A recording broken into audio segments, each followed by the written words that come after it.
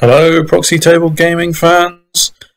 PTG here, and I am alone. Hyper G, just me. No lucky sixes for this one, so I'll keep it very short. Basically, it's not a battle report. It is the introduction to a very brief trailer that tells you a little bit more about Tabletop Simulator, which, for those who have seen our 2019 year review, we are doing a competition giveaway so that you can have access to Tabletop Simulator. So just so you can see a little bit about what it has to offer and all the possibilities, which really are nearly endless. I will let you enjoy this trailer.